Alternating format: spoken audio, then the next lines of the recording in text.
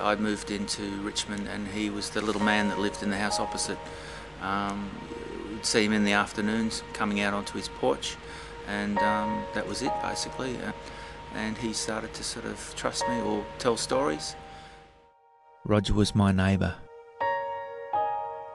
He lived across the road in a dilapidated weatherboard cottage surrounded by an overgrown garden. Every day he would stand by his front gate and watch the passing traffic and occasionally engage in a conversation with a passerby.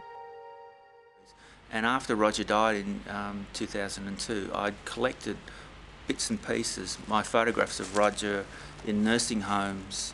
Uh, I have his passport, all these old photographs of Roger that I collected that were just in a box. Uh, and I wanted to put something together, piece something, a story about him. Roger carried in his jacket pocket a small photo of his father given to him by his grandmother in later life.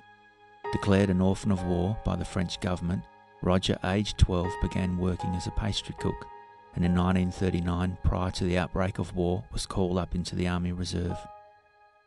He was captured by the Germans in 1940 and spent the next four years as a prisoner of war, escaping three times but always recaptured.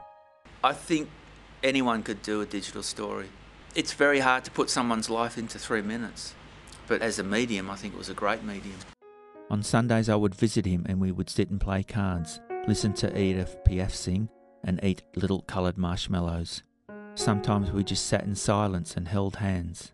His life, his life has been recorded, and he did exist, and um, people have got to hear about him. And I feel that if, if if someone sees the story and then, then they see an aged neighbour someone down the street, and they just take the time um, and get to know that person, that they might hear their stories and um, I think it's very important for our elderly people to be recorded.